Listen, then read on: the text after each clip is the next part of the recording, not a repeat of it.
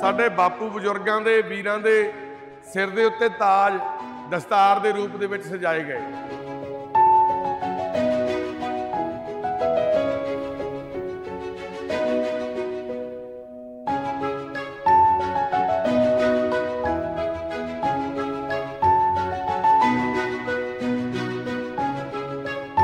ਤੇ ਸਾਡੇ ਸੁਪਨਿਆਂ ਦੇ ਘਰ ਵਿੱਚ ਅੱਜ ਇੱਥੇ ਲੰਗਰ ਲਾਇਆ ਗਿਆ ਵਾ ਦਸਤਾਰਾਂ ਦਾ। ਉਹਦੇ ਵਾਸਤੇ ਅਸੀਂ ਧੰਨਵਾਦ ਵੀ ਕਰਦੇ ਹਾਂ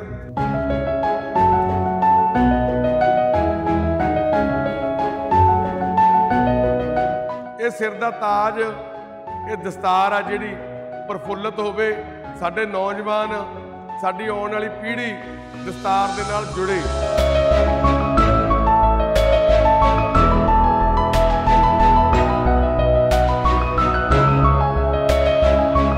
ਸਾਨੂੰ ਇਹ ਸੋਚਣਾ ਪੈਣਾ, ਉਹਨਾਂ ਵਾਰਸਾਂ ਦਾ ਵਿਰਸਾ ਸੰਭਾਲਣਾ ਪੈਣਾ।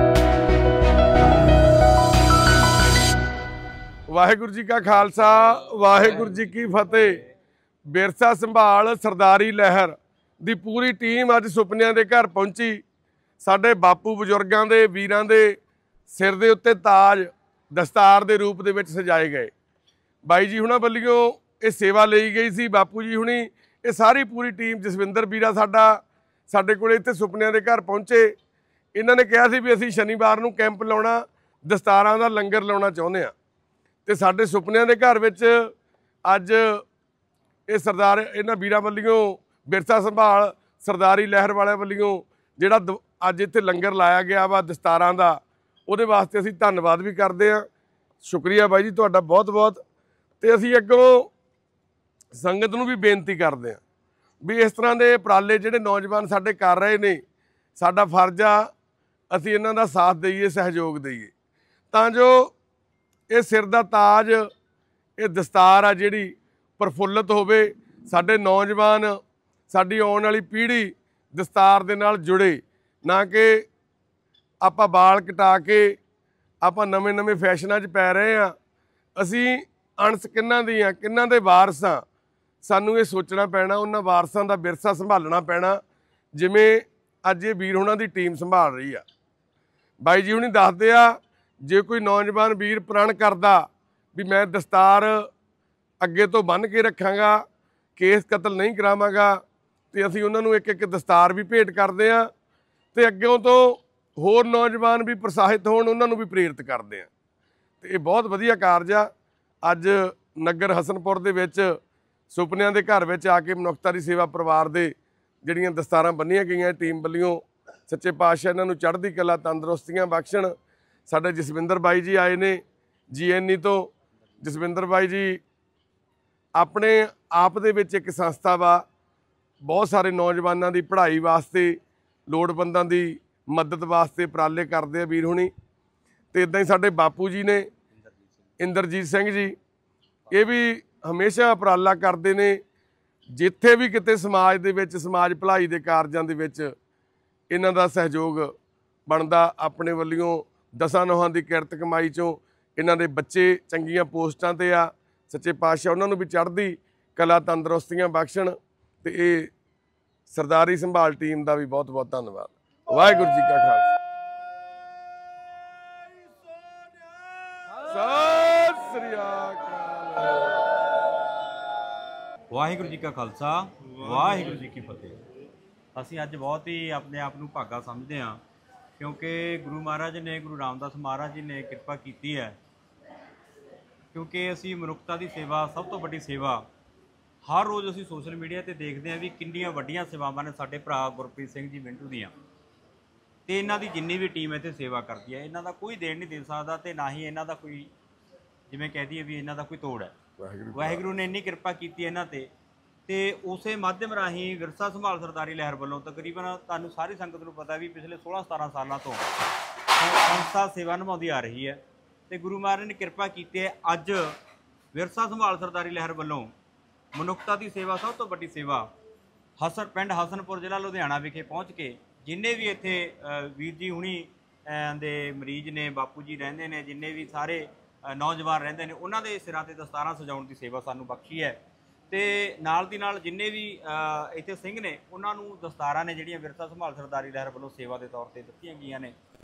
ਅਸੀਂ ਸਮਝਦੇ ਹਾਂ ਵੀ ਅਸੀਂ ਇਸ ਸੇਵਾ ਦੇ ਯੋਗ ਨਹੀਂ, ਪਰ ਵੀਰ ਜੀ ਨੇ ਸਾਨੂੰ ਇਹ ਸੇਵਾ ਦਿੱਤੀ ਹੈ ਤਾਂ ਬਹੁਤ ਧੰਨਵਾਦ ਹੈ।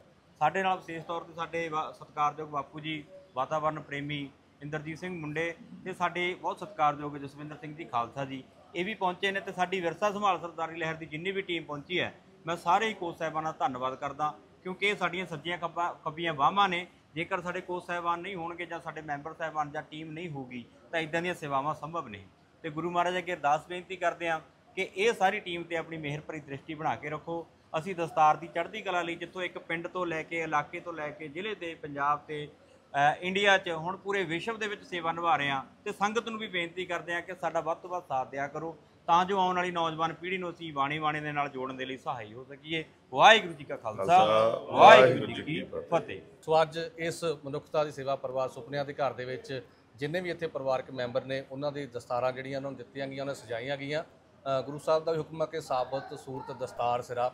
ਸੋ ਅੱਜ ਇਹ ਸੇਵਾਵਾਂ ਜਿਹੜੀਆਂ ਨਿਭਾਈਆਂ ਗਈਆਂ ਤੋਂ ਸਭ ਤੋਂ ਵੱਧ ਧੰਨਵਾਦ ਵੀਰ ਜੀ ਗੁਰਪ੍ਰੀਤ ਸਿੰਘ ਹੁਣਾਂ ਦਾ ਤੇ ਜਿਨ੍ਹਾਂ ਨੇ ਇੱਥੇ ਮੌਕਾ ਦਿੱਤਾ ਆ ਕੇ ਕਿਉਂਕਿ ਵਿਰਸਾ ਸੰਭਾਲ ਸੰਦਾਰੀ ਲਹਿਰ ਦੀ ਗੱਲ ਕਰੀਏ ਤਾਂ ਇਹਨਾਂ ਨੇ ਜਿੱਦਾਂ ਦੱਸਿਆ ਕਿ ਹਰ ਕੈਂਪਾਂ ਦੇ ਵਿੱਚ ਉੱਥੇ ਜਿਹੜਾ ਕੋਈ ਵੀ ਵੀਰ ਜਿਹੜਾ ਕੇਸ ਰੱਖਦਾ, ਉਹਨੂੰ ਦਸਤਾਰ ਜਿਹੜੀ ਆ ਫ੍ਰੀ ਦਿੱਤੀ ਜਾਂਦੀ ਆ ਤੇ ਇਹਨਾਂ ਦਾ ਬਹੁਤ ਵੱਡਾ ਯੋਗਦਾਨ ਹੈ ਇਹ ਸਿੱਖੀ ਦੇ ਪ੍ਰਚਾਰ ਪ੍ਰਸਾਰ ਲਈ। ਗੁਰਮਤਿ ਦੇ ਖੇਤਰ ਵਿੱਚ ਇਹਨਾਂ ਦੀਆਂ ਵੱਡੀਆਂ ਸੇਵਾਵਾਂ ਹੈਗੀਆਂ ਨੇ। ਸੋ ਅਸੀਂ ਵੀ ਆਪਣੇ ਆਪ ਨੂੰ ਇੱਥੇ ਵਡਭਾਗਾ ਮਹਿਸੂਸ ਕਰਦੇ ਹਾਂ। ਇੱਥੇ ਆ ਕੇ ਇਹਨਾਂ ਦੇ ਨਾਲ ਸੇਵਾਵਾਂ ਜਿਹੜੀਆਂ ਉਹ ਨਿਭਾਈਆਂ ਨੇ। ਸੋ ਇਸੇ ਤਰ੍ਹਾਂ ਇਹਨਾਂ ਦਾ ਸਾਰਿਆਂ ਦਾ ਸਹਿਯੋਗ ਕਰਿਆ ਕਰੋ ਤਾਂ ਕਿ ਆਪਾਂ ਇਦਾਂ ਹੀ ਗੁਰਸਿੱਖੀ ਦਾ ਪ੍ਰਚਾਰ ਪ੍ਰਸਾਰ ਜਿਹੜਾ ਕਰਦੇ ਰਹੀਏ।